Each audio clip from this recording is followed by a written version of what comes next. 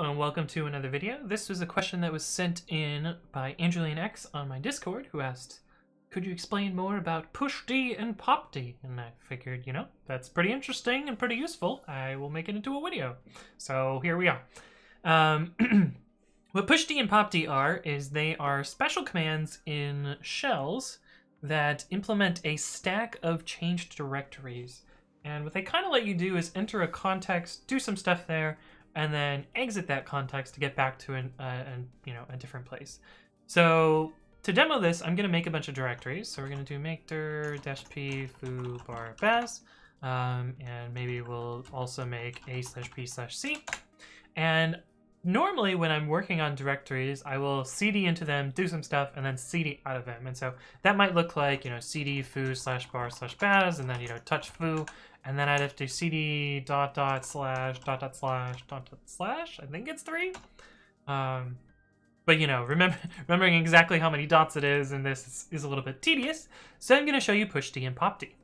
So what push D does, it's like CD, but um, but it keeps track of kind of a stack of the places where you were before.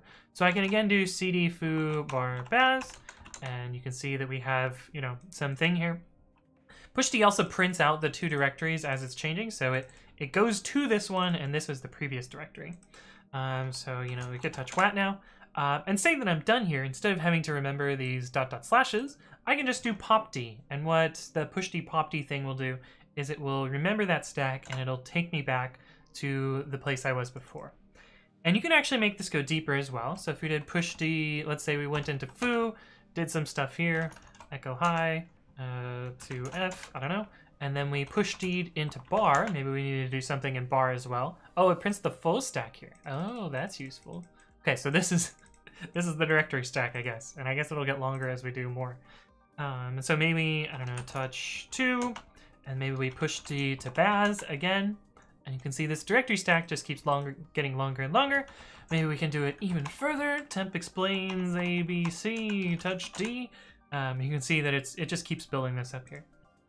And then we can kind of pop back each of those stacks to get back into a different context. So we can do uh, pop D to get back to the previous place, and then pop D again, and then oh, pop D again, and then pop D again, and pop D again. Eventually you get back to just your original place. And if you pop D one more time, it'll tell you that the directory stack is empty. So it allows you to kind of enter and leave context. I find this really, really useful in shell scripts where I have like, you know, some amount of work that I want to batch into one place in one directory. I'll push D into there, run a few shell commands, and then pop D out when I'm done.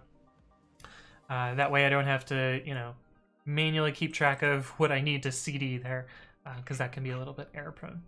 But anyway, hopefully this was helpful. If you have additional things you want me to explain, leave a comment below or reach out to me on the various platforms. Thank you all for watching, and I will see you in the next one.